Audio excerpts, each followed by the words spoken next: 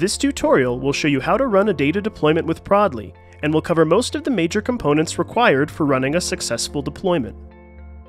With Prodly, you can easily move record and metadata between Salesforce instances with just a few clicks.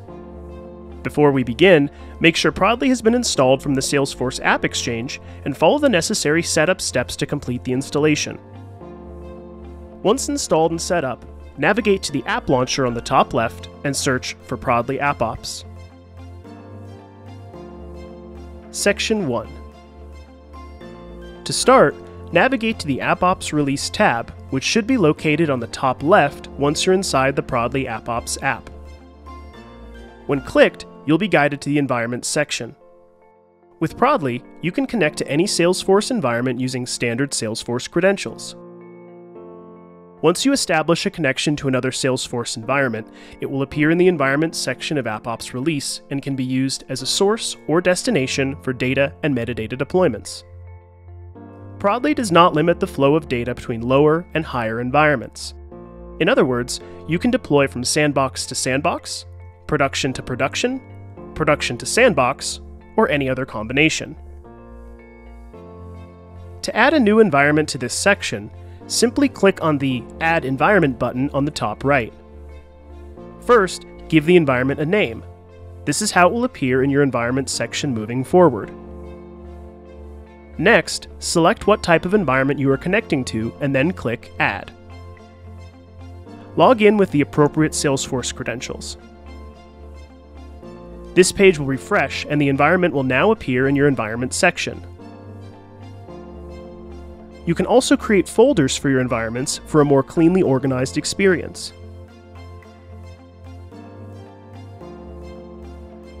If you ever need to change an environment name, simply click onto it.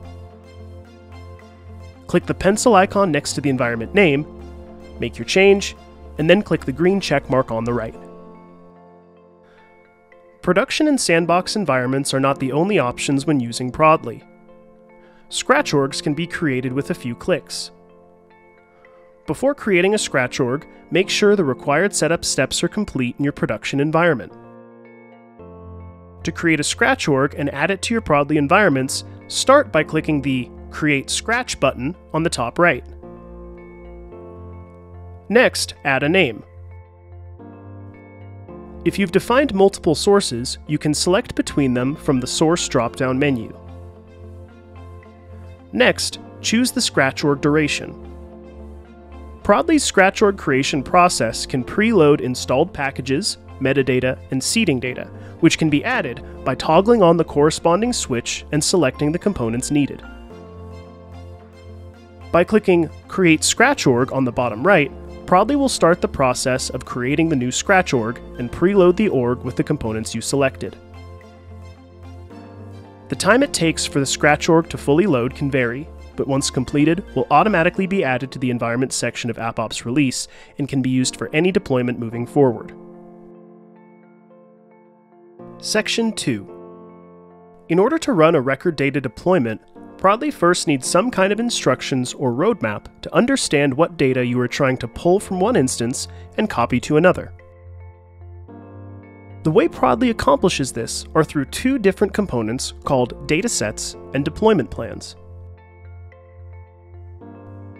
First, let's navigate to the Settings area of AppOps Release. We can do this by navigating to the column on the left and clicking on the gear icon.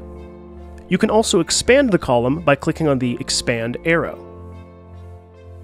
Once inside of Settings, navigate to the Release Templates section and install a template of your choosing. Note that data sets will represent a single record being installed, whereas a deployment plan will install multiple. The purpose of this will be discussed further later on. Prodly offers a variety of data templates for you to use at your discretion. These can also be used as a starting point for further customization, and you can always delete these records later if you don't need them. Now that we have a data set or deployment plan installed, we can run a data deployment. First, navigate to the Sandbox Seeding section of the AppOps Release tab. Note that the guided deployment section can seed data as well, but will also allow for the deployment of metadata, which will be covered in a different section. Once inside of Sandbox Seeding, select the source and destination of your data deployment. With Prodly, you can see data in up to five environments simultaneously by clicking on multiple orgs in the destination dropdown. Next, scroll to the Data Selection Method area and select the dataset or deployment plan you previously installed. Before we actually launch the deployment, note that you can also add in top-level filters in record selection criteria. By toggling on the Temporarily Deactivate Event switch at the bottom of the screen, triggers, process builders, workflows, duplication rules, and validation rules will be disabled in the destination orgs during the deployment. Creating a naming convention and applying it to each deployment is important. Over time, your list of previous deployments will grow, and a proper naming convention will aid in your ability to reference previous deployments. Simulating the deployment verifies that the objects and record counts referenced in the dataset match the deployment expectations and can help prevent issues during deployments. Clicking Deploy will send the deployment job to the Prodly servers. Note that Prodly does not store record information on its encrypted servers apart from record IDs, org IDs, and virtual external IDs. Once the deployment has been launched, you'll be re-navigated to the deployment result page within AppOps Release. You can actively monitor the progress of the deployment by clicking onto the Deployment Result or Result link. Completion times for deployments will vary depending on the number of records, objects, and relationships processed. Section 3 In the world of Prodly, a dataset record represents the framework of objects and relationships that are used in a deployment. Within a dataset, we can customize what objects should be used and set limits and rules as to what records should be pulled relating to those objects. First, navigate to the Datasets Home tab within Salesforce. If this page appears blank, it means that no datasets have been created or installed from the Settings section of the AppOps Release tab. To create a dataset from scratch, click New on the top right. This page is called the Dataset Editor. Start by adding a name and optionally a description. Next, take a moment to consider the purpose of this dataset and what Salesforce org it will be sourcing data from. If you plan to pull information from an external Salesforce org, click on the Schema Setting link on the bottom right. The Schema org pick list will show all Salesforce environments that have been previously added to the Environments section of AppOps Release. The orgs selected in this pick list will align this dataset with the external Salesforce schema. The deployment object pick list on the dataset record will now show all standard and custom objects corresponding to the selected schema org. The deployment object that is selected from the pick list will be the starting point of building your dataset. For example, if account is selected as the deployment object, and then we ran this dataset as a standalone deployment, Prodly would begin to copy account records from one Salesforce instance to another. If only certain account records are required for the deployment, record selection criteria can be applied. We can expand the network of objects in this dataset by clicking on the Parent or Child Relationship tabs at the top of the dataset editor. By clicking into Child Relationship, we can now select objects to be added to this dataset that have a child relationship, in this example, to the account object. Any object that is selected will then appear as a blue hyperlink. Navigating to a selected child or parent object will allow for the creation of specific record selection criteria relating to that object. This same concept can be applied to every object selected in a dataset. On the top left corner of the dataset record, a breadcrumb trail will be displayed showing your current position in the dataset relating to the deployment object. By clicking on the farmost left object, you will be taken back to the top level of the dataset record.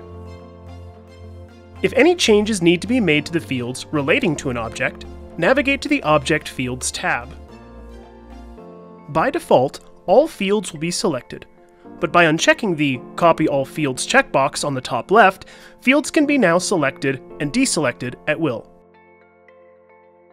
Each field has a settings icon to the right, which can be used to alter the field data in various ways during the deployment process.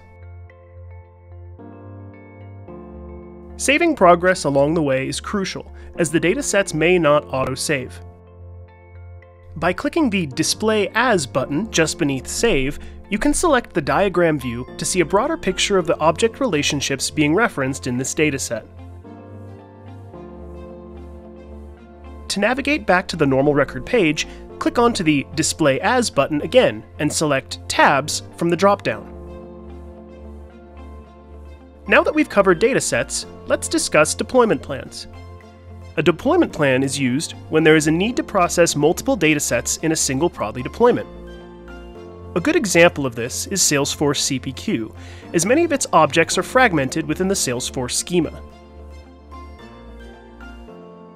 First, navigate to the Deployment Plans tab within Salesforce.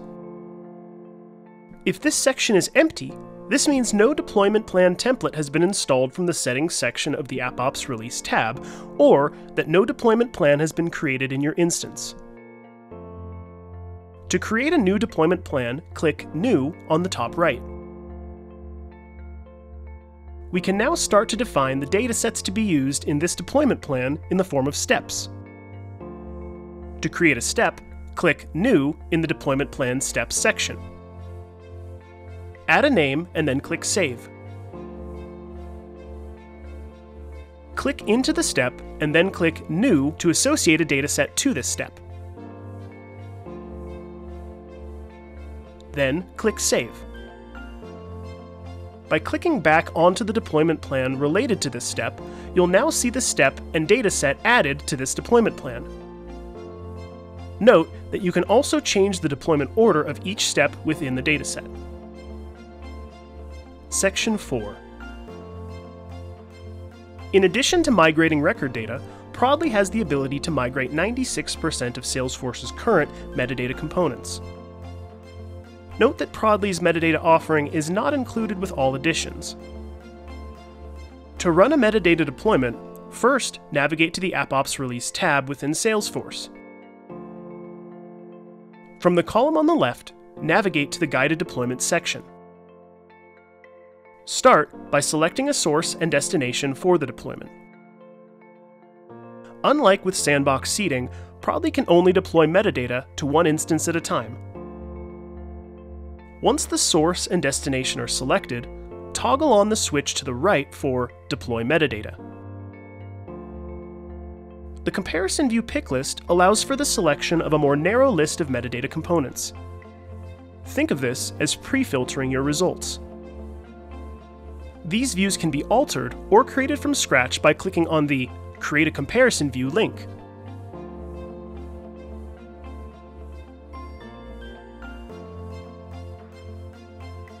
Once a comparison view is selected, click Load Metadata in the Metadata Components window. Load times will vary depending on the component differences that Prodly is able to find. The metadata diff view will specifically load any differences it is able to detect between the instances selected above, and can be filtered by where values differ, in source only, in destination only, or unchanged. The last modified by user is an additional filter that can be layered on top of the previously mentioned items. Prodly offers an enhanced level of visibility into your metadata click into a specific metadata component to then load up the subcomponents related to it. Once identified, click the checkboxes of the metadata components you'd like to push in your deployment. Note that by toggling on the Deploy Data further down the page, metadata and record data can be pushed in a single Prodly deployment if desired. Metadata is always deployed first. Clicking Deploy at the bottom of the page will send the deployment job to Prodly servers and begin to run in the background. You can monitor the progress of the deployment by navigating to the Deployment section of AppOps Release and selecting the deployment from the list. For more information, visit prodly.co.